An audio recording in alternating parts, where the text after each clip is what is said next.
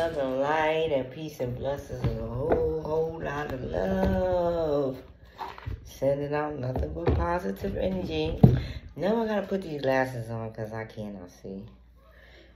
So today's cards are coming from African Goddess Rising Oracle Cards with a guidebook by Abiola Abrams.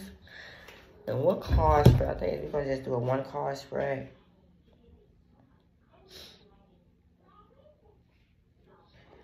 Let's see. I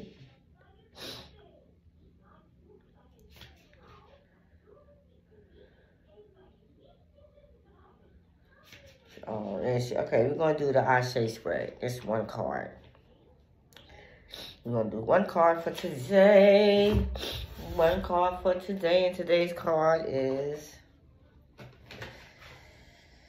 ooh, Ala grief.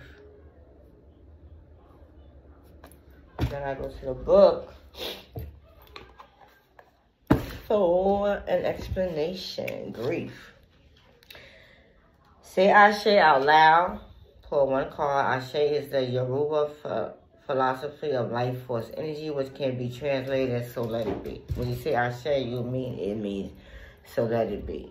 And do this anytime you need clarity, have a question, or require guidance.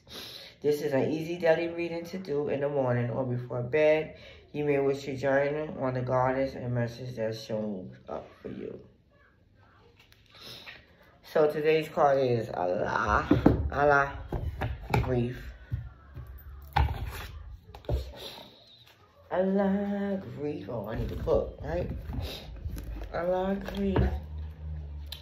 I have numbers on the card? Oh, 29. Card 29 Ala, goddess of grief, Igbo, Nigeria, temple, lovers, element, the bush. Ancient Ichi Mother Ala is the foremost Igbo Alusi deity goddess. Ala oversees motherhood, fertility, fertility, and the afterlife. After death, human return to the womb of Ala, replanted in the soul to reincarnate. Ala guidance, give spiritual grief, boil it out, wall it out, cry it out, sorrow, shriek, and shed tears. Surrender it. The embodiment. You are holding unprocessed, unprocessed, do this video over.